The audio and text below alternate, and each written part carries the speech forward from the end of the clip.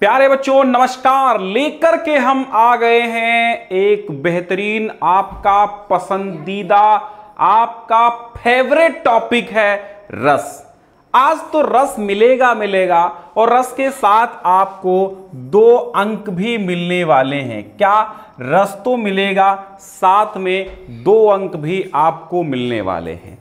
अच्छा आप लोगों में दो हिंदी चलती है, एक तो सामान्य हिंदी चलती है और दूसरी चलती है साहित्य हिंदी।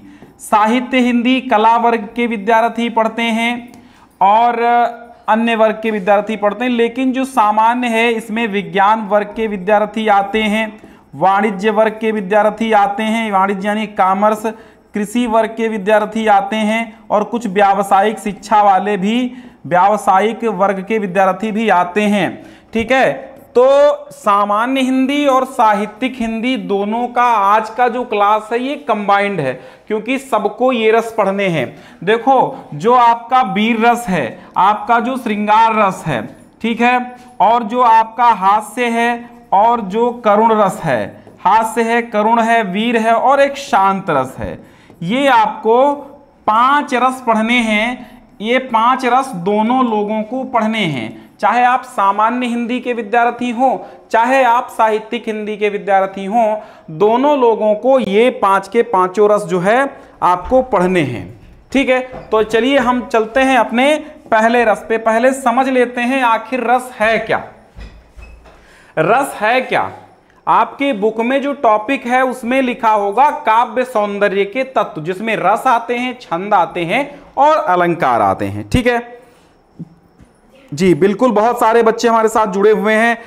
अमृता जी हैं, नितिन जी हैं, वैष्णवी जी हैं राजन जी हैं, सौरभ जी हैं, ठाकुर साहब हैं, आर्यन हैं, रोशनी हैं और मुर्तजा मलिक जी हैं, राम कुमार जी हैं, रोशनी विश्वकर्मा हैं, निधि पांडे हैं एट्टीट्यूड हैं और आर्यन आनंद जी हैं, आर्यन निषाद जी हैं, रेणु रानी, राम कुमार, तमाम लोग जुड़े हुए हैं। भाई, सभी का स्वागत तहे दिल से करते हैं, हृदय की अतल गहराइयों से। बस आपको क्या करना है, आप बस दिल थाम के ये मेरी क्लासेस देखते रहिए। ठीक है? दिल थाम के ये क्लासेस देखिए और गारंटी के साथ आज रस आपको आ जाएँगे। ठीक है? कैसे लिखना है वो सारी चीज़ें हम क्लियर करने वाले हैं। समझिए, रस आखिर होता क्या है? ये जो रस है ये रस वो रस नहीं है जो गन्ने से निकलता है। ये रस वो रस नहीं है जो संतरे से निकलता है। ये रस कहाँ से निकलता है? ये अंतकरण से निकलता है, दिल से निकलता है, मनोभाव से निकलता है। ये रस वहाँ से निकलता है। विभावानुभाव व्यविचारी संयोगाद्रस निष्पत्ति। विभाव, अनुभाव व्यविचारी भाव आदि के संयोग से रस की निष्पत्ति होती है।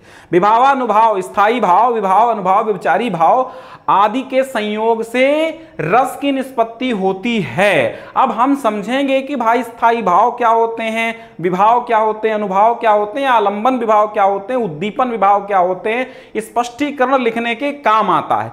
तमाम बच्चों के ये सवाल हैं कि सर हम रस लिखते समय स्पष्टीकरण लिखेंगे अथवा नहीं। तो मैं कहूँगा आप लिख सकते हैं स्पष्टीकरण। ठीक है, परीक्षा में आपका जो सवाल आता है, वो आता है कि आप 100 उदाहरण रस की परिभाषा लक्षण उदाहरण सहित लिखिए। तो जब आप उदाहरण लिखेंगे थोड़ा सा स्पष्टीकरण भी दे देंगे तो दिक्कत क्या है? कोई दिक्कत नहीं है। ठीक है, बाकी आप परिभाषा उदाहरण भी याद कर सकते लेकिन मैं यहाँ पर कंप्लीट आपको पढ़ाऊँगा, क्योंकि मैं गुरु हूँ, अधूरा ज्ञान आपको नहीं दूँगा। ठीक है? तो ये भरत मुनि का सूत्र है। कहते हैं कि विभाव, अनुभाव एवं व्यभिचारी भाव। व्यभिचारी का मतलब होता है संचारी भाव आदि के संयोग से रस की निष्पत्ति होती, रस की निष्पत्ति यानी उत्पत्ति होती है। अब आप जब भी परिभाषा लिखिएगा तो निष्पत्ति मत, उत्पत्ति मत लिखिएगा। रस की हमेशा निष्पत्ति होती है, उत्पत्ति नहीं होती है।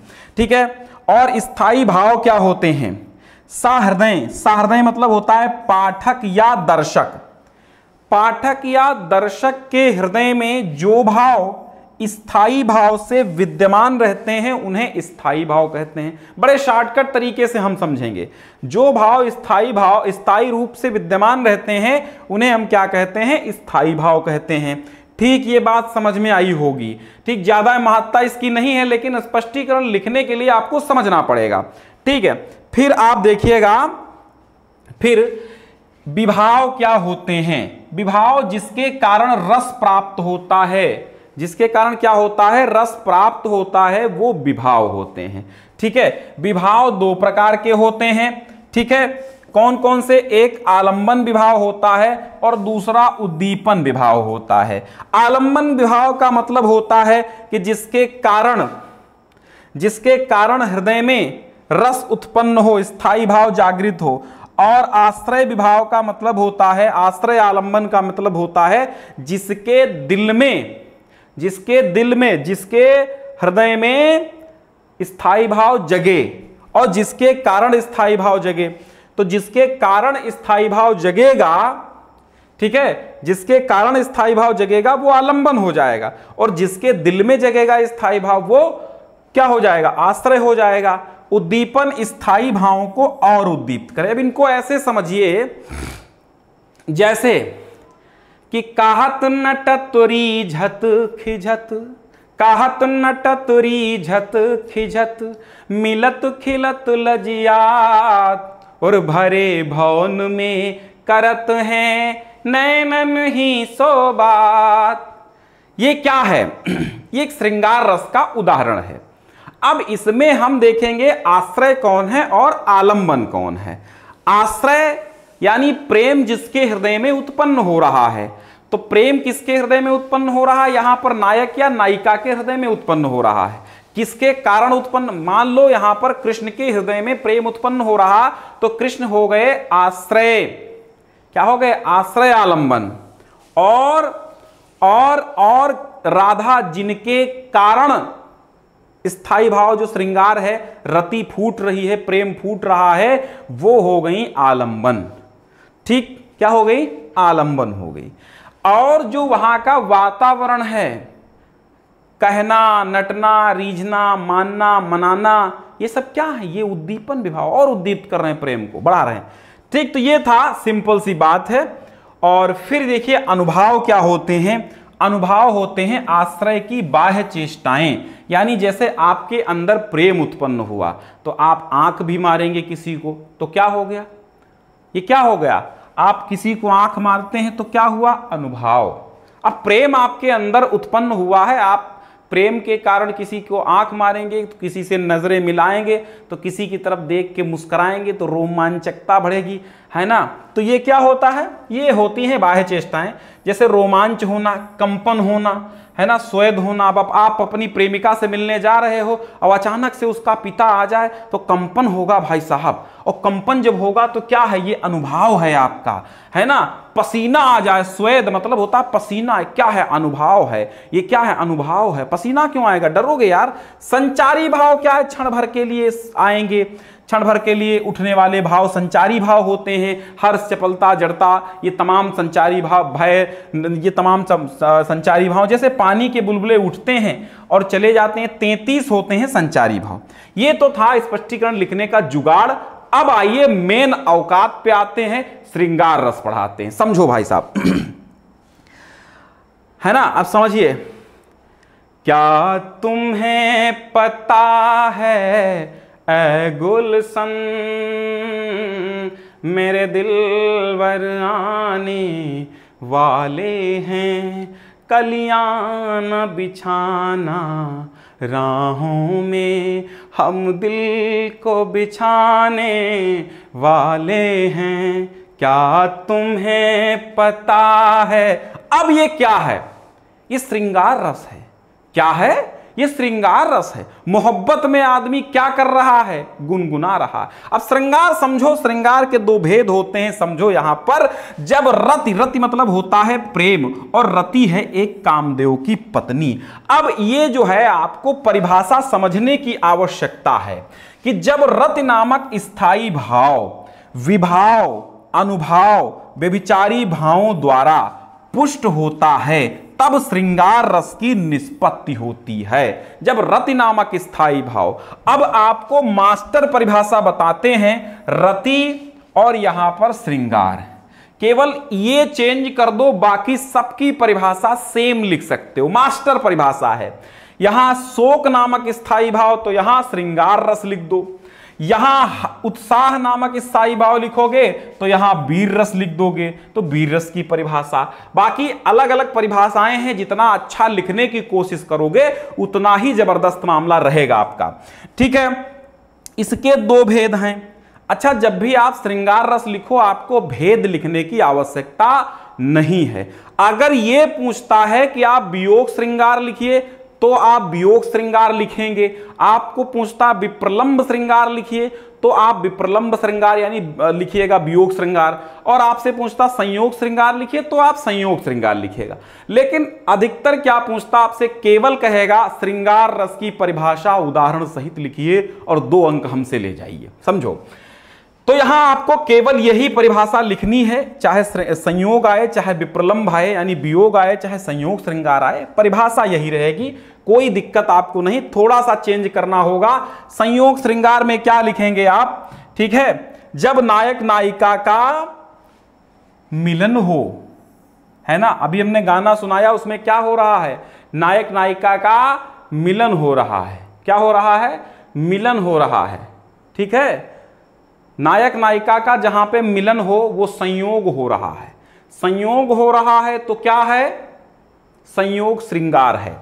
वहाँ संयोग श्रृंगार होता है, जैसे कि बतरस लालच लाल की मुरली धरी लुकाए।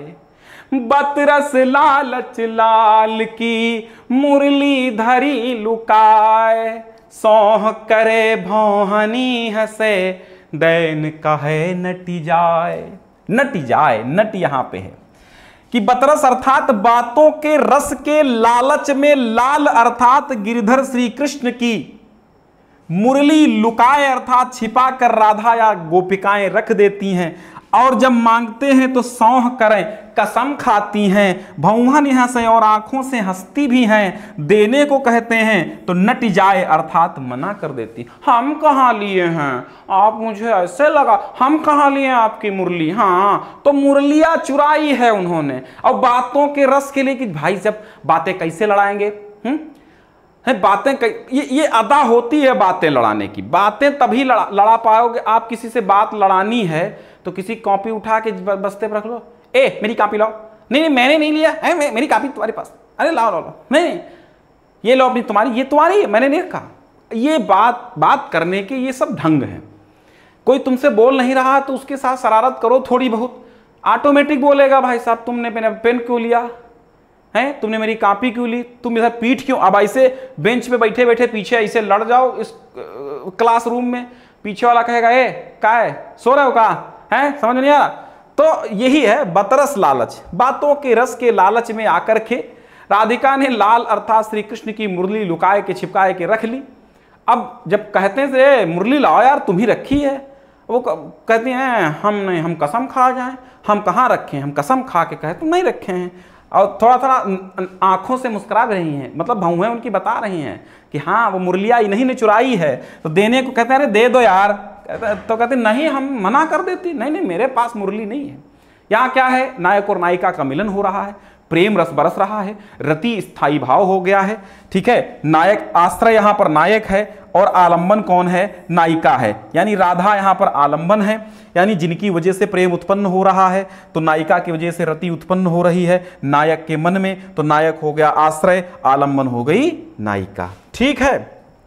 अब समझो उद्दीपन यहाँ पर क्या है? नायिका की चेष्टाएँ जैसे मुस्कराना हाव भाव उसके, और बंकिम दृष्टि, तिरछी नेत्र, नैनों से मुस्कराना। अनुभाव क्या है?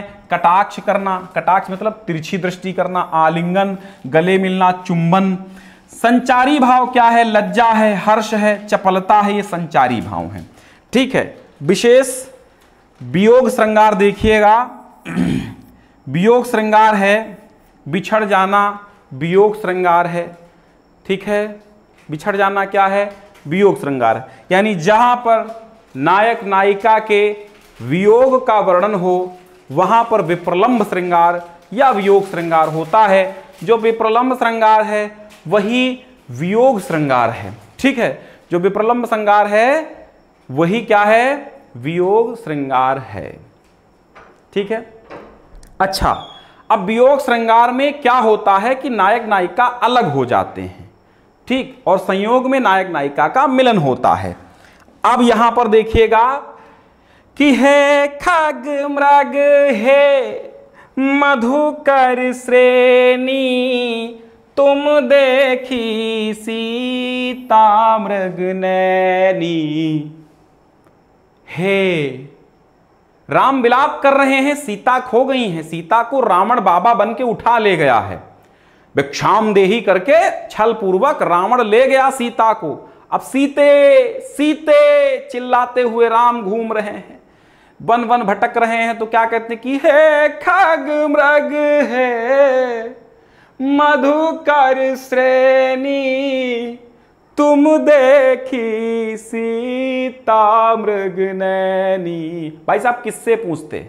ना तो वहाँ ट्रैफ़िक है, ना कोई पुलिस चौकी बनी है, जंगलवा है, राम है, लक्ष्मण है, लक्ष्मण दूसरी दिशा में है, राम दूसरी दिशा में है। राम कहते हैं कि हे पक्षियों, हे मृगों, हे पशुओं, हे मधुकर से भरी हुई श्रेणियों, क्या तुमने मेरी सीता को देखा है, जो मृग मृगनयनी है? अर्थात जिसकी हिरणियों जैसी चाल और आँखें हैं, ऐसी सीता को तुमने देखा है। यहाँ पर वियोग है, परंतु श्रृंगार रस है। मृगनयनी सीता को कह दिया, सुंदरता बखान कर दी। तो यहाँ पर श्रृंगार रस है, वो भी वियोग श्रृंगार है। स्थायी भाव तो रति दोनों में रहेगा। आश्रय यहाँ पर सीता है, क्योंकि जो रति उत्पन्न होती है, वो राम के मन में उत्पन्न होती है। आलंबन यहाँ पर, नहीं, यहाँ पे आश्रय जो है, राम है। आश्रय कौन है? आश्रय यहाँ पर राम है। आलंबन यहाँ पर सीता है। आलंबन मतलब जिसके कारण स्थायी भाव उत्पन्न हो। तो सीता के कारण रति उत्पन्न हो रही ना राम के मन में। तो यहाँ पर राम आश्रय है और जिनके मन में वो रत उत्पन्न हो रही है, वो राम है। आलंबन कौन है? सीता है। उद्दीपन नायक राम की चेष्टाएँ हैं, जैसे विलाप करना, रुदन करना, रोना। अनुभाव क्या है? स्तंभ है, स्वेद है, स्वरभंग है। मतलब स्तंभ माने स्टेच्यू हो जाना स्वेद माने पसीना बहना, स्वरभंग मतलब आवाज़ न निकलना, संचारी भाव क्षण भर के लिए विषाद है, विषाद विषाद मतलब दुख, मोह है और दीनता है। विशेष लिखने की आवश्यकता आप चाहें तो लिख सकते हैं। ठीक, अब उदाहरण देखिए, यहाँ पर एक श्रृंगार रस का उदाहरण बहुत मस्त है, देखिएगा, समझिएगा। कि दूल्हा श्री रघुनाथ बने, समझो, विवाह हो रहा है। शादी हो रही है और शादी हो रही तो मिलन है मिलन है तो संयोग श्रृंगार है। कि दूल्हा श्री रघुनाथ बने, दुलही सी सुंदर मंदिर माही। वो गावती गीत सब मिली सुंदरी वेद जुआ जूरी विप्र पढ़ाही। भाई साहब, मेरे साथ उदाहरण गाइए, तभी आपको याद होगा। रट्टा मार, अब की बार रट्टा न मार, हमारे साथ गाके कर ले नैया पार। फिर से पढ़ो। कि दूल्हा श्री रघुनाथ बने। मैं चाहता हूँ इसी क्लास में सब याद हो जाए, बाद में होमवर्क ना करना पड़े तुमको। यहीं पे पढ़ो, सामने बैठ के मोबाइल और अलग अलग बैठो एकांत में। मैं चिल्ला रहा हूँ, तुम भी चिल्लाओ। लोग तुम्हें पागल कहेंगे, लेकिन भाई साहब जब टॉप निकलोगे तो क्या होगा? आश्चर्य हो जाएगा, अद्भुत रस की निष्पत्ति होगी। कि दूल्हा श्री रघुनाथ बने, दुलही सी सुंदर मंदिर माही। और गावती गीत सब मिली सुंदरी वेद जुआ जूरी विप्र पढ़ाही। तो राम को रूप निहारती जानू की कंगन के नग की पर छाही। याते सब सुधी भूली गई कर टेरी रही पलटारत नाही। याते सब सुधी भूली गई कर टेरी रही पलटारत नाही।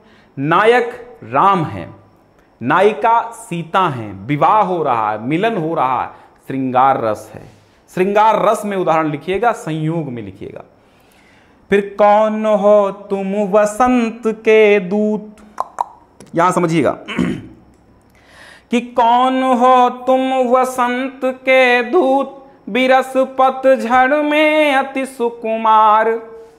कौन हो तुम वसंत के दूत? बिरस झड़ में अति सुकुमार। घन तिमिरी में चपला की रेख, तपन में शीतल मंद बयार। श्रृंगार रस श्रद्धा आती है, मनु से कहती है। ठीक है? समझिएगा? आ, नहीं मतलब मनु कहते हैं श्रद्धा से। तो ये भी श्रृंगार रस है। कि मेरे प्यारे नव जलद से कंज से नेत्र वाले, जाके आए न मधुबन से और न भेजा संदेशा। मेरो रो के प्रिय विराह में बावली हो रही हूँ। जाके मेरी सब दुख कथा शाम को तू सुना दे। कहाँ से है? पवन दूतिका से है, वियोग श्रृंगार है। राधिका जी पवन से कहती हैं कि शाम को मेरी दुख सुना देना। तो ये था श्रृंगार रस, बढ़ते हैं अगले रस की ओर, हास्य रस आता, भैया मज़ा आएगा। मज़ा आएगा, ठीक है? इस तरह अगर हम चुप चुप कर आपस में प्रेम बढ़ाएँगे तो एक रोज तेरे डैडी अमरीश पुरी बन जाएँगे। सब हड्डी पसड़ी तोड़ मुझे भिजवा देंगे वो जेल प्रिय, मुश्किल है अपना मेल प्रिय। ये प्यार नहीं है खेल प्रिय। ये कहा है? हाथ मज़ा आया? मज़ा आया तो हाथ रस हो गया। हँसी आई तो हाथ रस हो गया। समझो हास्य रस किसी की विकृत, समझो, बिल्कुल ध्यान से समझना परिभाषा। परिभाषा मेन है एक नंबर की। किसी की विकृत वेशभूषा, चेष्टा आदि को देखकर मन में उत्पन्न स्थायी भाव, विभाव, अनुभाव, व्यभिचारी भाव आदि के द्वारा जब पुष्ट होता है, तब हास्य रस की निष्पत्ति होती है। कौन सा भाव? हास नामक स्थायी भाव।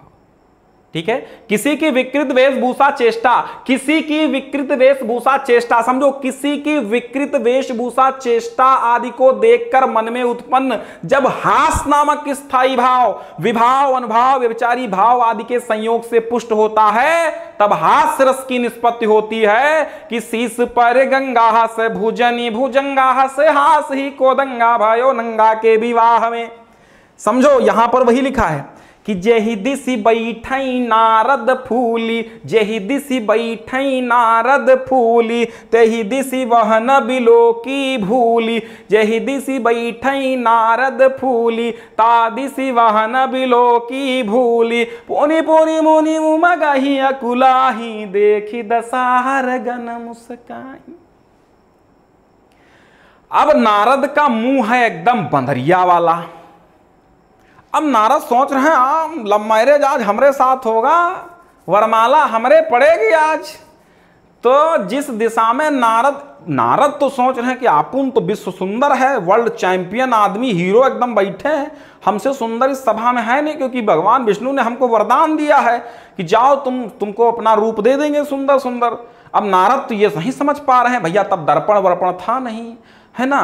तो नारद ये नहीं समझ पा रहे हैं कि हुआ मेरे साथ क्या है। नारद बैठे हैं है ना? तो जिस जह दिश बैठे नारद फूली, नारद जिस दिशा में फूल कर बैठते हैं कि आपुन है क्या है, बड़ा सुंदर है। तो जह दिस बैठे नारद फूली, सो दिश तही न बिलोकी भूली। वो रानी जो है, वो उस दिशा में, वो उस दिशा में बिलोकी माने देखी। वो भूल कर भी उस दिशा में नहीं देखती कि यार ये मंकी ब्रांड कहाँ से आ गया। है? और पुनि पुनि मुनि उमकही अकुलाही। अब मुनि जी बार बार बहुत व्याकुल होकर के बहुत अकुला रहे हैं। कहते हैं, अरे यार, ये डाल क्यों नहीं रही वरमाला? है? डाल क्यों ने देख दशा हरगन मुस्काही। हरगन माने हर माने शिव जी शिव जी के जो गण हैं शिव जी के जो दूत हैं, इनकी ऐसी दशा देख के बड़ा हँसते हैं। हंस रहे हैं, क्या आदमी है? ऐसे हंस रहे हैं। ये है उदाहरण, याद हुआ होगा। अब आप समझिएगा स्थायी भाव यहाँ पर आप लिखेंगे हास। ठीक है? हास स्थायी भाव लिखना मत भूलना। विभाव में आलंबन विभाव और उद्दीपन विभाव दो ज़रूर डालिएगा। नारद मुनि यहाँ पर विभाव है, आश्रय, आलंबन है नारद मुनि, क्योंकि इन्हीं की वजह से कौन हंस रहा है? हरगन मुस्काही। तो आश्रय कौन है? हरगन। यानी हँसी किसके हृदय में फूट रही है? हरगन, यानी शिव जी के दूतों के। और और जो है, किसकी वजह से? तो नारद की वजह से तो नारद हो गया आलंबन। विलक्षण आकृति चेष्टाएँ जो उनकी हैं, ये उद्दीप्त कर रही हँसी को और बढ़ा रही उद्दीपन माने उद्दीप्त करना एक्साइटमेंट और बढ़ाना। ठीक अनुभव माने हंसना, अनुभव में हंसना, खड़े होना, भागना, संचारी भाव हर्ष चपलता और चंचलता है। ठीक है हाथ से हो गया। कि बिंधे के बास, याद कर, जो देखो तीन चार उदाहरण हम दे रहे हैं। जो आपको सरल लगे, वो आप अपने कंठ में बिठा लो। कंठ में माँ सरस्वती की कृपा होगी, मैं प्रार्थना करूँगा, तुरंत आपके कंठ में सब विराजमान हो जाएगा, लेकिन आप क्लास छोड़ के कहीं नहीं जाना है। एकदम समा बंध चुकी है। तो इस समा को बुझने मत देना। इस समा बंध चुकी है तो एकदम मेरे साथ, मेरे सामने रूबरू होइए। सबसे लास्ट में कमेंट पढ़ेंगे, कोई समस्या होगी, पुनः समझाएँगे हम। लेकिन पहले समझो, आज पाँच रस होने वाले हैं, दूसरा रस पढ़ा रहे हैं, तीसरा, चौथा और पांचवा बचा है। सामान्य हिंदी वाला दो नंबर कंप्लीट हो जाएगा। और जो साहित्यिक हिंदी वाले हैं, ये तो कंप्लीट करेंगे। अभी छह रस उनको और पढ़ाने हैं, वो कल पढ़ाएँगे, वो कंप्लीट करेंगे। ठीक है? समझिए? कि बिंधे के बासी उदासी तपोव्रत धारी महाबिनु नारी दुखारे। और गौतम तीय तरी तुलसी, सो कथा सुनी भे मुनि वृंद सुखारे। हुई है शिला सब चंद्रमुखी, पर से पद मंजुल कंज तिहारे। और कीन्ही भली। रघुनायक कुजी करुणा करी काननु को पगुधारे विंध्याचल के निवासी तपोव्रतधारी महान जो तपोव्रतधारी हैं, बिना नारी के दुखी हैं। कौन खाना बनाएगा? वृद्धावस्था में कौन सेवा करेगा? है ना? दुखी हैं, इसलिए दुखी हैं नारी के बिना। अच्छा और गौतम तीय जब ये सुनते हैं कथा कि राम ने अपने चरणों से एक पत्थर को नारी बना दिया, अहल्या को, अहल्या एक पत्थर थी, उसको जैसे ही राम के चरण लगे, वो पत्थर से एकदम पत्नी बन गई, नारी बन गई, है ना? पत्नी नहीं मतलब गौतम ऋषि की पत्नी बन गई, अर्थात नारी बन गई। तो अब ये कथा सुनकर के मुनि वृंद जो हैं, मुनियों के जो समूह हैं, विंध्याचल पर्वत के निवासी, बड़ा प्रसन्न हो गए। अब कहते हैं कि हुई है शिला सब चंद्रमुखी। अगर राम कहीं आ गए इधर तो जितना पत्थर है विंध्या, विंध्याचल में तो सब पत्थर है पत्थर है, पर्वत हैं सब। कहते हैं, हुई है शिला। शिला माने पत्थर। सारे शिला चंद्रमुखी नारियाँ बन जाएँगे। परसे पद मंजुल कंज तिहारे। यानी चरण कमल अगर इधर आकर के राम ने स्पर्श कर दिए तो क्या हो जाएँगे? क्या हो जाएँगे? सारे पत्थर नारियाँ बन जाएँगे। और अपनी तो क्या हो जाएगी? बाई मौज कर दी। मौज हो जाएगी। समझो? कि हँसी हँसी भाजे देखी दूल्हा दिगंबर के। पाहुनी जे आवे हिमाचल के उछाह में। हँसी हँसी भाजे देखी दूल्हा दिगंबर को। पाहुनी जे आवे हिमाचल के उछाह में। और शीस पर गंगा हसे भुजनी, भुजंगा हसे हास ही को दंगा भयो नंगा के विवाह में। शंकर जी का विवाह है, हैं दूत सारे नाच रहे हैं, आज मेरे बाप की शादी है। शंकर जी नाच रहे हैं, शंकर जी के साथ सारे दूत नाच रहे हैं। तो शीश पर गंगा हंसे तो शीश पर गंगा हंस रही। तो हास ही को दंगा भयो नंगा के विवाह में शिव जी के विवाह में हास्य रस का ही सारा दंगा होगा। तो यहाँ पर भी हास्य रस है। अब आता है करुण रस थोड़ा रोने की बारी है आपकी। अब तो हंसे। अभी हंसे हो। ठीक है? ठीक है? अभी हंसे हो। तो आ, समझ में आ गया होगा हास्य रस एक बार फिर से परिभाषा सुनिएगा। किसी की विकृत वेश वेशभूषा, चेष्टा आदि को देखकर मन में उत्पन्न हास नामक स्थायी भाव, जब विभाव, अनुभाव व्यविचारी भाव आदि के संयोग द्वारा पुष्ट होता है तो हास्य रस की निष्पत्ति होती है। उदाहरण उदाहरण आप शीश पर गंगा हंसे, भुजनी भुजंगा हंसे, हास ही को दंगा भय नंगा के विवाह में। हमने कहा था, श्रृंगार रस की परिभाषा जब रथ नामक स्थायी भाव विभाव अनुभाव व्यविचारी भाव आदि के द्वारा पुष्ट होता है, वहाँ पर श्रृंगार रस की निष्पत्ति होती है। और श्रृंगार रस में आप कोई भी लिख लीजिए, कहत नटत रिजत खिजत मिलत, खिलत, लज्जात, भरे भवन में करत है, नैनन हिस्सो बात। दो रस हो गए, तीसरे रस पे चलते हैं, ये हास्य के बाद आता है करुण रस, ठीक है। हाँ समझिए। जब इष्ट विनाश हो जाता है, बंधु वियोग हो जाता है, कोई अपना बिछड़ जाए, कोई साथी बिछड़ जाए, किसी वस्तु जो हमसे चली गई है, पुनः नहीं मिलेगी। मिलने की आशा खत्म, वहाँ करुण रस होता है। परिभाषा यह है, जब शोक नामक स्थायी भाव, विभाव, अनुभाव, व्यभिचारी भाव आदि के द्वारा पुष्ट होता है, तब शोक रस की करुण रस की निष्पत्ति होती जब शोक नामक स्थायी भाव। और इप्सित या इष्ट वस्तु के नाश से जब हृदय में क्षोभ या दुख उत्पन्न होता है, उस उत्पन्न क्षोभ को करुण रस कहते हैं। फिर से समझिए एक बार इष्ट विनाश बंधु वियोग के कारण। पहले इतना लिखिएगा। यहाँ पर मैं लिख के बता देता हूँ। यहाँ पर पहले लिख के बता देता हूँ। परिभाषा यहाँ पढ़िए, पढ़िएगा। इष्ट विनाश या बंधु वियोग के कारण जब हृदय में लिख लीजिएगा या स्क्रीनशॉट ले लीजिएगा, उत्पन्न। अब इसके बाद लिखिएगा, शोक नामक स्थायी भाव, विभाव, अनुभाव, संचारी भाव आदि के संयोग से करोड़ की निष्पत्ति होती है। ठीक है?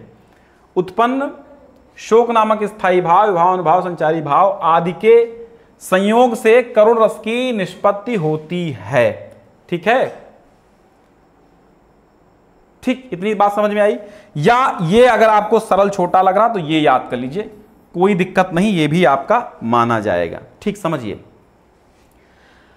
अभी तो मुकुट बंधा था माथ, हुए कल ही हल्दी के हाथ। अभिमन्यु की मृत्यु हो चुकी है, उनकी पत्नी विलाप कर रही है। क्या कर रही है? कि अभी तो मुकुट बंधा था मात हुए कल ही हल्दी के हाथ। खिले भी न थे लाज के बोल, खुले भी न थे लाज के बोल। खिले थे चुंबन शून्य कपोल अभी तो मेरे साथ गाओ, अभी तो मुकुट बंधा था मात हुए कल ही हल्दी के हाथ, खुले भी न थे लाज के बोल। खिले थे चुंबन शून्य कपोल खिले थे चुंबन शून्य कपोल हाय रुक गया यही संसार, बना सिंदूर अनल अंगार। वात हत लतिका ये सुकुमार, पड़ी है छिन्नाधार। हाय रुक गया यही संसार, बना सिन, दूर अनल अंगार। वात हत लतिका ये सुकुमार, पड़ी है छिन्नाधार। पड़ी है छिन्नाधार। अभी तो मुकुट बंधा था मात हुए कल ही हल्दी के हाथ। खिले भी न थे लाज के बोल, खुले भी न थे लाज के बोल। खिले थे चुंबन शून्य कपोल हाय रुक गया यही संसार। बना सिंदूर अनल अंगार, वात हत लतिकाए सुकुमार, पड़ी है छिन्नाधार, पड़ी है छिन्नाधार। समझ में आ गया होगा, याद भी हो गया होगा स्थायी भाव यहाँ पर शोक है और आश्रय कह सकते हैं तो हमारे अभिमन्यु है, ठीक है? आश्रय कौन है? अभिमन्यु है, ठीक है? और यहाँ पर उद्दीपन, आलंबन क्या है? आश्रय नहीं, आश्रय तो अभिमन्यु की पत्नी है। आलंबन यहाँ पर अभिमन्यु है, जिनकी वजह से शोक उत्पन्न हो रहा है। और उद्दीपन है अभिमन्यु का मृत शरीर। उद्दीपन मतलब और उद्दीप्त कर रहा है। और आश्रय अभिमन्यु की पत्नी है। अनुभाव सिर पटकना है, छिन्न आधार पड़े होना है। संचारी भाव स्मृति, विषाद, प्रलाप, विलाप, ये क्या है? ये संचारी भाव है। क्षण भर को आते हैं, चले जाते हैं। प्रलाप विलाप ये सब चलता रहता है कि शोक बिकल रो, वही सब रानी। रूपशील गुण, ज्ञान बखानी।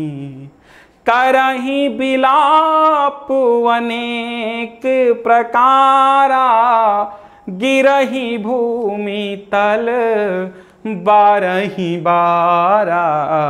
गिरही भूमि तल, बारही बारा। शोक बिकल रो वही सब रानी रूप सील गुण ज्ञान बखानी।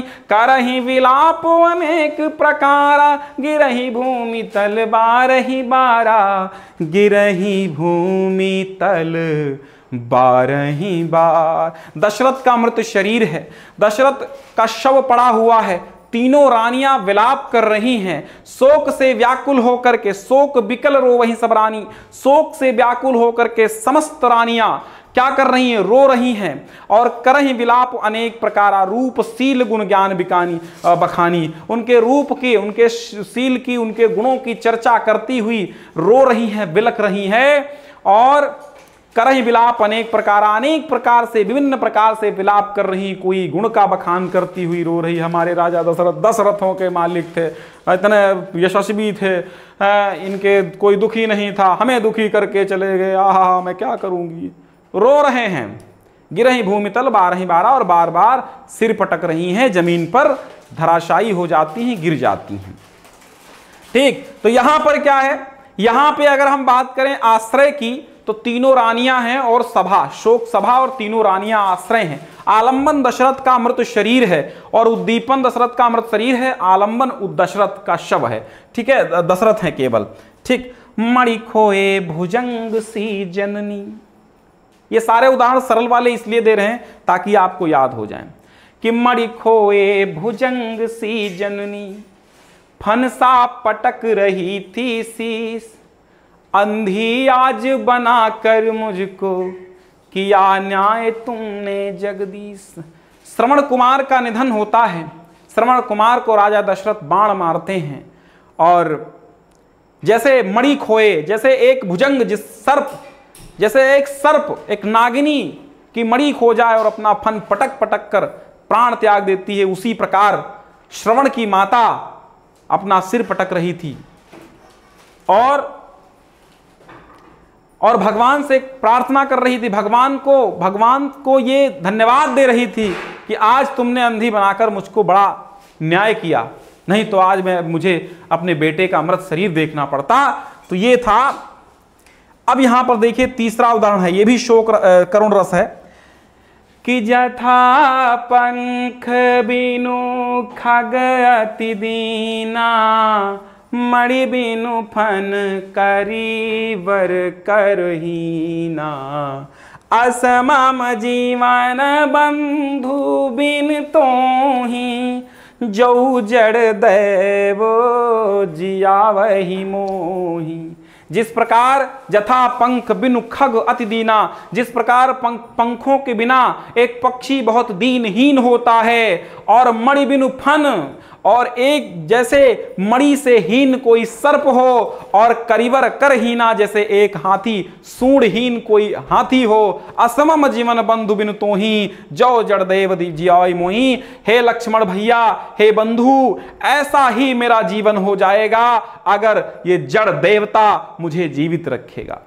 जैसे पक्षी परहीन पक्षी हो, जैसे फनहीन, जैसे मणिहीन सर्प हो, जैसे सूढ़हीन हाथी हो उसी प्रकार तुम्हारे बिना मेरा जीवन भी ऐसा ही हो जाएगा। ठीक है? अगर ये जड़दैव ये जड़ भाग्य, ये जड़ विधाता मुझे जीवित रख। राम विलाप कर रहे हैं, लक्ष्मण जी मूर्छित हो चुके हैं, तब का ये कथन है। अब आता है वीररस वीररस आता है, भाई साहब, उत्साह में हो जाओ। मुछो छो पे ताव दे दो, मेरे तो है ही नहीं। तो वीर रस में क्या करेंगे आप? कि बारह बरस लह कुकुर जीवे और दस ग्यारह जिये सियार बरस अठारह क्षत्रिय जीवे, आगे जीवे को दुदकार खट खट खट खट तेगा बुआलय बुआलय छपक छपक तलवार। बड़े लड़ैया महुबे वाले, जिनकी भेड़ बहाई तलवार। या कमारे, दुई गिर जावे, तीसर खौफ खाए, मरी जाए। कटी कटी लट्ठा गिरे सरफी औघन चले, लोहारन क्यार। ये था आल्हा। भाई साहब वीर रस में पूरा आल्हा है। पूरा आल्हा लगभग वीर रस पे ही है। परमाल रासो जगनिक का लिखा हुआ है। परमाल रासो वीर रस आ गया। वीर रस का नाम सुनते ही हम सबको अंदर जोश आ जाता है। बहुत ज़बरदस्त साजी चातुरंग सैन अंग में उमंग भरी, सरजा चिवाजी जंग जीतन चलत है, और भूषण भनत नादो बिहद नगारन के, नदी नद मद गैबरन के रलत है। आयल फैल खैल बैल खलक में गैल गैल गजन की ठैल पैल सैल उसलत है। और तारा सो तरनी धुई, धारा सो लगत जिमी, थारा पर पारा पारा वारियों हलत है। ये है बीरस समझिए कि युद्ध अथवा कठिन कार्य को करने के लिए, युद्ध अथवा युद्ध अथवा कठिन कार्य को करने के लिए हृदय में निहित उत्साह नामक स्थायी भाव के जागृत होने के प्रभाव स्वरूप वीर रस की निष्पत्ति होती है। क्या कहते हैं कि युद्ध अथवा कठिन कार्य को करने के लिए हृदय में निहित उत्साह नामक स्थायी भाव के जागृत होने के प्रभाव स्वरूप जो भाव उत्पन्न होता है, उसे वीर रस कहते हैं। याद कर लो, जब उत्साह नामक स्थायी भाव, विभाव, अनुभाव व्यविचारी भाव आदि के द्वारा पुष्ट होता है, तब वीर रस की निष्पत्ति होती है। और ई रहा उदाहरण। क्या रहा? कि साजी चतुरंग सैनुअंग में उमंग हरि सरजा शिवाजी जंग जीतन चलत हैं। और भूषण भनत नाद बिहद नगारन के नदी नद मद गैबरन के रलत हैं। ठीक तो यहाँ पर आप क्या करेंगे? स्थायी भाव जो है, वो क्या है? स्थायी भाव आपका है उत्साह। आश्रय है नायक वीर शिवाजी। ठीक है? ठीक है? शिवाजी हैं। आलंबन है शत्रु शत्रु की वजह से उत्साह है कि आज मार देंगे ससुरा को कुछ हो जाए। हम्म। और अनुभव क्या है? रोमांच और अंग स्फुरण। अंग स्फुरण मतलब हम्म, देखो बहुत गुस्सा होती है मतलब उत्साह आता तो थर थर थर कभी शरीर होता है भुजाएँ फड़कने लगती हैं गाल भी थर्राने लगते हैं तो क्या होता है? युद्ध की बातें उद्दीपन विभाव हैं युद्ध के नगाड़े युद्ध की युद्ध के बाजे यहाँ पर बातें नहीं युद्ध के बाजे। युद्ध के बाजे उद्दीपन होते हैं। युद्ध में बाजा क्यों बजाया जाता था? है? इसीलिए कि उत्साह बढ़े। संचारी भाव, आवेग, हर्ष, रोमांचकता है। आए होंगे यदि भरत कुमतिवश वन में। अब लक्ष्मण बोल रहे हैं। हैं? जब भरत भरत को आते देख रहे हैं, कोई कहता है, भरत आ रहा है, युद्ध करेगा। समझ रहा कि तो लक्ष्मण क्या कहते हैं? क्रोधित होते हैं लक्ष्मण ना? कि आए होंगे यदि भरत कुमतिवश वन में। तो मैंने यह संकल्प लिया है मन में। उनको इस शर का लक्ष्य चुनूँगा, क्षण में प्रतिषेध आपका भी न सुनूँगा रण में। रण की बात आ गई। कि वीर तुम बढ़े चलो, धीर तुम बढ़े चलो। सामने पहाड़ हो, सिंह की दहाड़ हो। सामने पहाड़ हो, सिंह की दहाड़ हो। वीर तुम बढ़े चलो, धीर तुम बढ़े चलो। ये क्या है? ये हाथ में ध्वजा रहे, बाल दल सजा रहे। ध्वज कभी झुके नहीं, दल कभी रुके नहीं। वीर तुम बढ़े चलो, धीर तुम बढ़े चलो। सामने पहाड़ हो, सिंह की दहाड़ हो। तुम निडर डरो नहीं नहीं, तुम निडर डटो वहीं। वीर तुम बढ़े चलो, धीर तुम बढ़े चलो। ये क्या है? ये है बीरस। मैं सत्य कहता हूँ, सखे, सुकुमार मत जानो मुझे। यमराज से भी युद्ध कर प्रस्तुत सदा मानो मुझे। ये क्या है? है और की तो बात क्या? गर्व में करता नहीं, मामा तथा निज तात से भी युद्ध में डरता नहीं, युद्ध में डरता नहीं, युद्ध में डरता नहीं। ये था आपका वीर रस। वीर रस में समझ में आया, जब उत्साह नामक स्थायी भाव विभाव भाव विचारी भाव आदि के द्वारा पुष्ट होता है तो वीरस की निष्पत्ति होती है। युद्ध आदि का वर्णन सुन करके, देख करके। ठीक है? शांत रस में बड़ा शांत मामला है। शांत रस समझिएगा, शांत का स्थायी भाव होता है निर्वेद। ठीक है? क्या होता है? शांत का जो स्थायी भाव है, इसका स्थायी भाव क्या होता है? निर्वेद होता है। ठीक है? निर्वेद का मतलब ये होता है कि दुनिया से कोई मतलब नहीं। ये दुनिया, ये महफिल मेरे काम की नहीं मेरे काम की नहीं। भाई साहब, कुछ हो काम का नहीं है, शांत रस यहाँ पे आ गया। समझिए सामान्य हिंदी वालों, साहित्यिक हिंदी वालों, ज्ञान की प्राप्ति अथवा संसार से वैराग्य होने के पश्चात, जब मनुष्य को न सुख, दुख और न किसी से द्वेष, राग होता है तो ऐसी स्थिति में मन में उठा विभाव शांत रस कहलाता है। स्थायी भाव इसका निर्वेद होता है। या ऐसे लिखिएगा, जब निर्वेद नामक स्थायी भाव, विभाव, अनुभाव व्यविचारी भाव आदि के द्वारा पुष्ट होता है, तब शांत रस की निष्पत्ति होती है। ठीक है?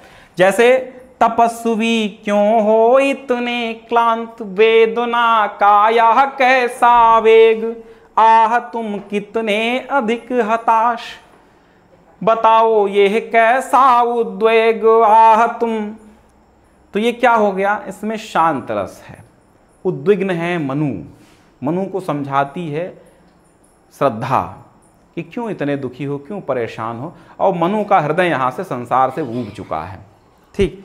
कि मन रे परस हरि के चरण मन रे परस हरि के चरण मन रे परस हरि के चरण मन रे। परस हरि के चरण, सुभग शीतल, कमल कोमल, त्रिविध ज्वाला हरण मन रे। परसी हरि के चरण, हे मन, ईश्वर के चरण, तू क्या करो? स्पर्श करो। क्योंकि वे त्रिविध ज्वाला, यानी कि तीनों प्रकार की दैहिक, दौविक, दैविक और भौतिक तीनों प्रकार की ज्वालाओं को समाप्त करने वाले हैं। जब मैं था तब हरी नहीं, अब हरी है मैं नाही। जब मैं था तब हरी नहीं, अब हरी है मैं नाही। शीश उतारे हाथ धरी, सो पैठे ही माही। और सब अंधियारा मिटी गया जब दीपक देखा माही। यहाँ पर भी क्या है? निर्वेद है स्थायी भाव, रस है यहाँ पर, शांत। जैसे, यह संसार कागद की पुड़िया, बूंद परे घुल जाना है। भैया रामी, चलो दे सवा बिराना है। ये भी क्या है? शांत रस इसमें है। ठीक है? क्या है? शांत रस है। संतो भाई, आई ज्ञान की आंधी रे भ्रम की टाटी सब उड़ानी माया रहे न बांधी रे दुचित की द्वे थुनी गिरानी, मोह बली डाटूटा तृष्णा छानी परी घर ऊपर, कुबुद का भांडा फूटा। संतो भाई। आई ज्ञान की आंधी रे हमारे साथ बहुत बच्चे जुड़े हुए हैं और ये पाँचों रस आपको मैंने पढ़ा दिए हैं। ज़बरदस्त क्लास लगी होगी। आपको पीडीएफ चाहिए 26 27 28 नंबर पे, क्रम संख्या पे लगे होंगे। आपको मैं डिस्क्रिप्शन में लिंक दे दूँगा। आप वहाँ से डाउनलोड कर लेना 26 27 पे लगे होंगे। ठीक है, जो क्रम संख्या 26 पे होंगे, मैं अभी अपडेट कर देता हूँ डिस्क्रिप्शन में लिंक। वहाँ से आप ज़रूर डाउनलोड कर लीजिएगा। अच्छा तो बताएँ भाई, मज़ा आ गया इनकम टैक्स भैया, सयाम जी, दीपांशु जी हैं, स्नेहा जी हैं। ठीक है अच्छा चलो एक गाना सुनाते हैं, उसका रस बताओ। हम तुम्हें चाहते हैं ऐसे। मरने वाला कोई ज़िंदगी चाहता है जैसे हम तुम्हें चाहते हैं ऐसे। कौन सा रस है? फटाफट कमेंट करो। हाँ। आह। अच्छा अमरीश पुरी वाला सुना दीजिए। अच्छा अमरीश पुरी वाले में क्या है? कि मुश्किल है अपना मेल। प्रिय, ये प्यार नहीं है खेल। प्रिय, वो सुनील जोगी जी का है, सुन लीजिएगा। कब सम्मेलन डालिएगा सुनील जोगी, कि मुश्किल है अपना मेल प्रिय, ये प्यार नहीं है खेल प्रिय। तुम ए फ़र्स्ट डिवीज़न हो, मैं हुआ हाई स्कूल फेल प्रिय। मुश्किल है अपना मेल प्रिय, ये प्यार नहीं है खेल प्रिय। कि तुम ढाबे के ढांचे जैसी मैं मैं ढाबे के ढांचे जैसा तुम पाँच सितारा हो, बोतल, होटल हो। मैं ढाबे के ढांचे जैसा तुम पाँच सितारा होटल हो, मैं महुए का देसी थर्रा तुम मैकडावल की बोतल हो। इस तरह अगर हम छुप छुप कर आपस में प्रेम बढ़ाएँगे तो एक रोज तेरे डैडी अमरीश पूरी बन जाएँगे। सब हड्डी पसली तोड़ मुझे भिजवा देंगे। फिर जेल प्रिय, मुश्किल है अपना मेल प्रिय। ये प्यार नहीं है खेल प्रिय। है ना? हाँ बिल्कुल वो संयोग श्रृंगार का था। ठीक है? चलिए। दीपांशु हैं, सत्यवान जी हैं, समीर कूल जी हैं। अच्छा अरुण कुमार जी हैं, हजारी प्रसाद द्विवेदी का पीडीएफ अच्छा अपडेट कर देंगे, काहे परेशान हो? है ना, शिवम प्रजापति हैं पीति गुर्ड हैं, और नगेंद्र मिश्रा जी हैं, रेणु जी हैं, अमन हैं हैं, और भाई कौन सिंह हैं, मोनू सिंह हैं, राजू यादव हैं, फातिमा जी हैं art art next, Yash Nigam ji हैं, प्रीतम पटेल जी हैं, दीप शिखा यादव जी हैं, है ना?